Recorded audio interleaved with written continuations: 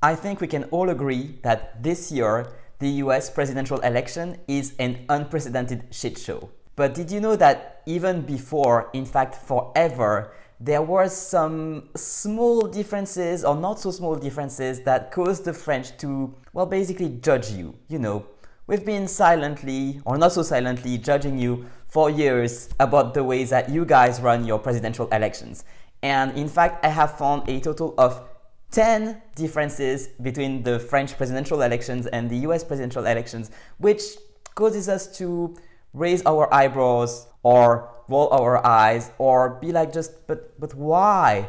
Why are you even doing things this way? My name is Angel Pretot, I am the French learning coach and on this channel I help you learn French, become bilingual and understand the cultural differences between France and the English-speaking countries, particularly the USA. And today we are looking at 10 things the French despise about the US elections, starting with number one, perhaps the biggest of all, private funding. In France, it is literally illegal to accept private money to fund your political campaign as a candidate to the presidency. In fact, some of the biggest scandals around President Nicolas Sarkozy are centered around the suspicion that he did accept private funding, uh, in particular from the boss of L'Oréal, Liliane Bettencourt, and from the former Libyan dictator, Gaddafi.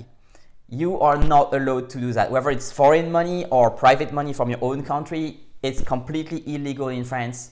We just cannot do that. And it seems that in the US, the elections could just not run without private funding. Private funding is a big part of the US elections. So you might be wondering, okay, but if they don't accept private funding, how do they even fund their campaigns? Like they don't do it out of pocket, right? No, they don't. So in France, we have a system. Each candidate which receives at least 5% of the votes will get their expenses refunded after the election by the French state. So that's how this works. Of course, it makes it really important to have at least 5% of the votes. Otherwise, well, you're out of luck. You've basically paid everything out of pocket for no result, not even a nice score. And this brings me to number two on this list, which is bipartisanism, or the fact of having just two parties. Now, you might tell me, okay, but we do have a third party candidate in the US. And that's true, you do have a third party candidate, but for starters, you only have three, which is not a lot. In France, the biggest number of candidates I've seen in a presidential election is 17, which is huge and kind of insane. And that actually at this point we start having problems because we have too many candidates. But for us, the fact that you have only two or two plus a third one, which doesn't stand a chance anyway, we do perceive this as a bit anti-democratic. We don't, we cannot imagine that you have enough of a political representation of all the political ideas there can be with only two political parties or two candidates and you know a third one. Like I said, we once had 17. It's very common to have 11 of them. So that's a big, big difference between France and the US. So with these many parties, what we have is we have a lot of different political ideas which are represented in the presidential election. And that brings me to number three, which is something that the French have been silently judging you about for years. And in fact, even when I was a child, that was already being discussed. In the US, at least from the point of view of the French, you don't really have a left wing party. When I was a child, my uncle explained US politics to me in this way. He said, in France, we have the right and the left, that was true at the time. Now it's not so true. The, the, the political landscape has changed since then. But at the time, we really had a very strong socialist party and a very strong, um, more Republican party. Um, so he told me in France, you have the right and the left. And in the US, you have two parties, but they are both the right. And that's very much how us French look at the US politics. We do perceive the Democrats to be a bit far to the right in comparison to what our political landscape looks like. Nowadays, of course, it's a little bit different because President Macron has very much uh, the kind of ideas that the American Democrats have. So that has changed. But the fact that you don't have anyone really to the left of the Democrat Party uh, is weird for us because we have at least four or five parties to the left of that. Again, because we have a lot more parties than you guys do, or at least a lot more parties which are represented in the elections. Number four is the length of a presidential term. So an American president is elected for four years, as you know, and they can be elected twice, and that's it. This is something they have in common with the French. And in fact, I actually learned that rather recently. I didn't know before that the French can only have two terms. Generally, after one term, we get rid of a president, and if he gets two terms, he's very lucky. So I guess we just didn't really need to speak about this rule, but I looked it up, and yes, it's the same in France. Presidents can only have two terms, but they're elected for five years each time. Which it used to be seven years, which is why President Mitterrand was in office for a total of 14 years. But then during the presidency of Jacques Chirac, there was a referendum asking us, the French, to vote for or against a shortening of the presidential term to five years. And so at the time, one of the, one of the criticism of the idea of having a five years mandate was that it would make the presidential system look closer to that of the US, which we perceive to be not very efficient. And basically, we were afraid that the French president wouldn't have a lot of time to get anything done really in those five years. Eventually, the reform was adopted, and nothing has really changed so much in the way the country is run. One thing that has changed is that we don't have we have less of a chance that the president and the prime minister will be from different political parties, which actually makes the running of a country smoother because of course you know it's like in the US when you have the House and the Senate be from different parties then things get stuck really easily. So in the end, we could say that there isn't a major difference in the duration of the presidential terms. In France, it's five years, and in the US, it's four years.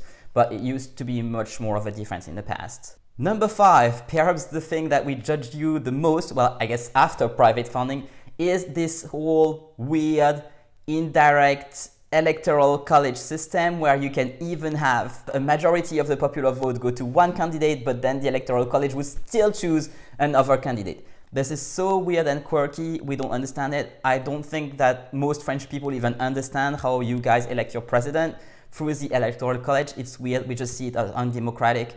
And the fact that it slightly favors the Republican Party against the Democrat Party is so weird.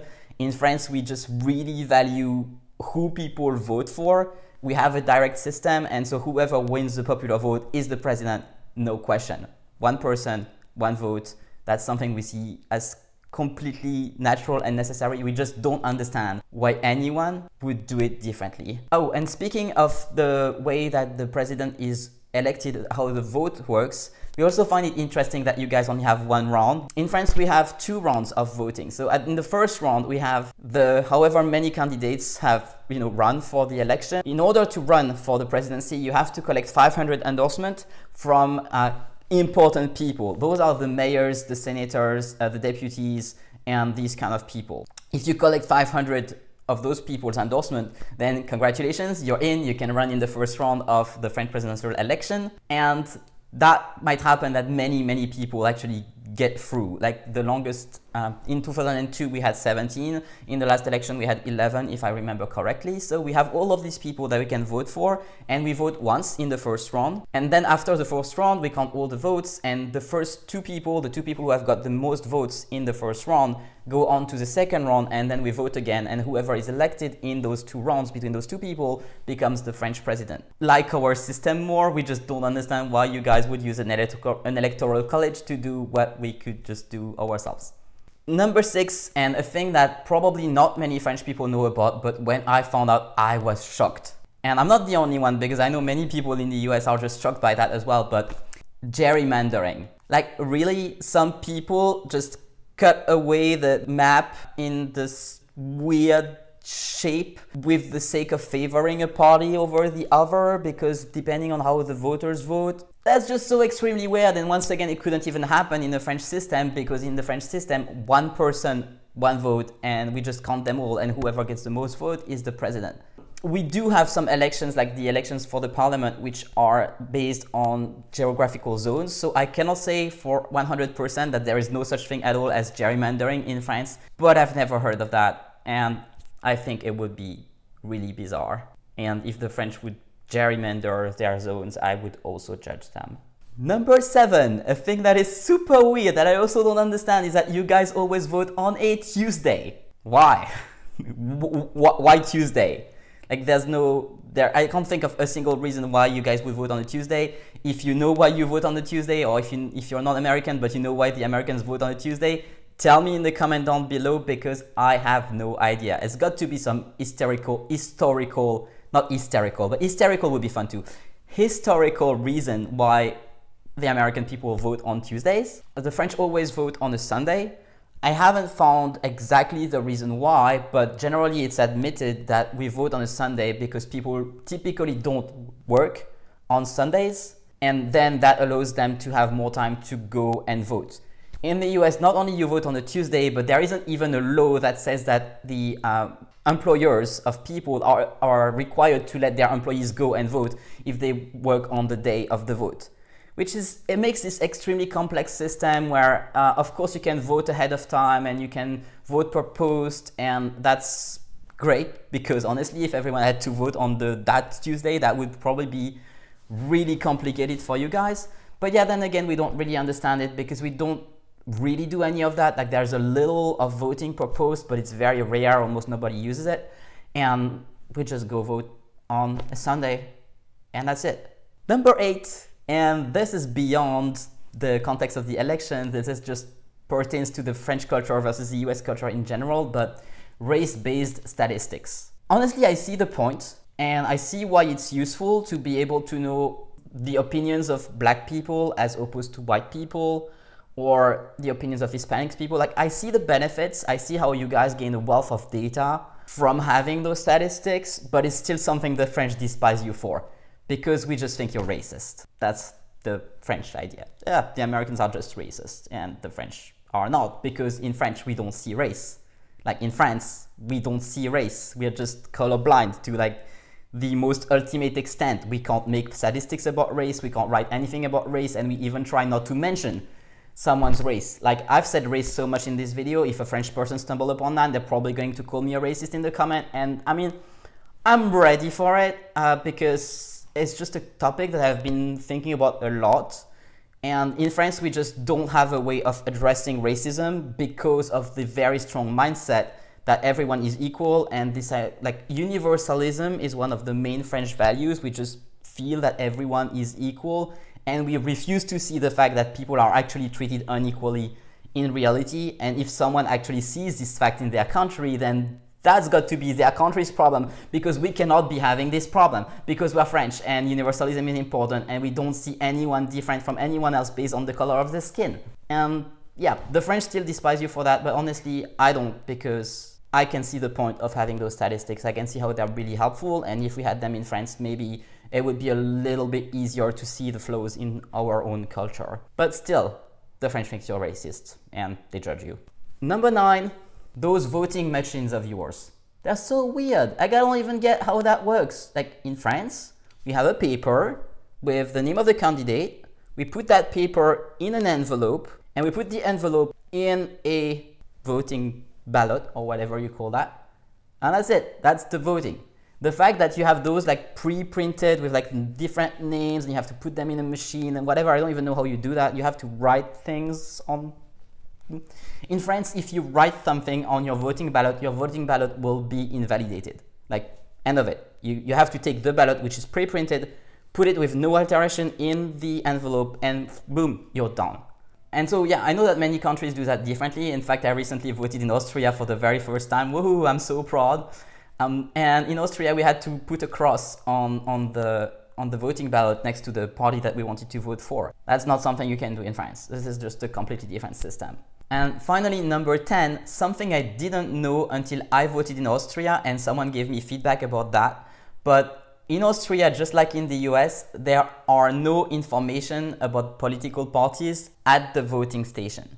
Like you go to your place where you have to vote, you have no information whatsoever about the political parties. And if you would, that would be seen as propaganda.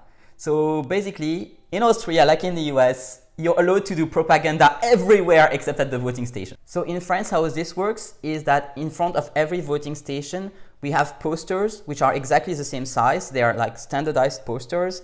And we have one for each candidate and each candidate gets to print, put their poster. Actually, I think probably this is done by the, uh, this is probably done by the government official.